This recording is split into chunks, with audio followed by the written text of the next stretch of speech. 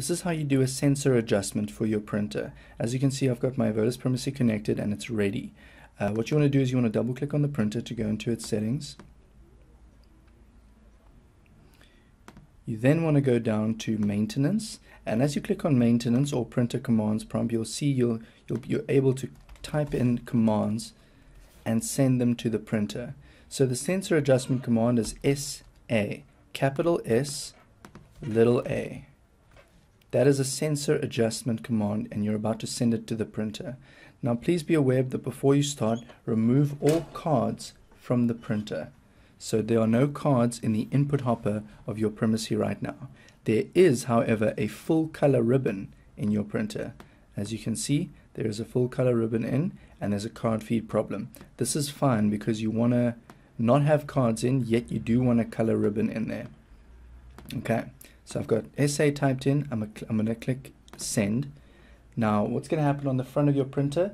The um, a light is going to start flashing. You then want to open your cover of your printer only a little bit, and when it starts flashing again, you close your cover.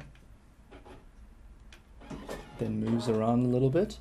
Then another light starts flashing, and you insert a card, a single blank white PVC card into your printer. It takes that card in, moves it around a bit, and kicks it out almost immediately. The printer takes a moment to roll around a bit, shift its rollers, and adjust its sensor.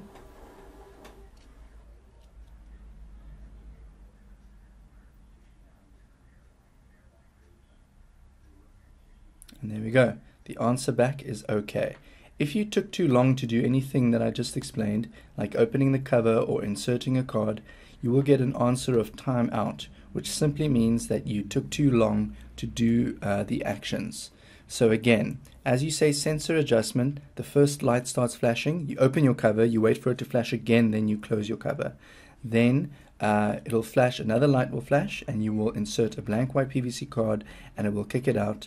And that is the end of the sensor adjustment um, uh, workflow. So now you've done a sensor adjustment, you can reinsert your cards into the printer like so. And as you can see, my printer is ready to print again.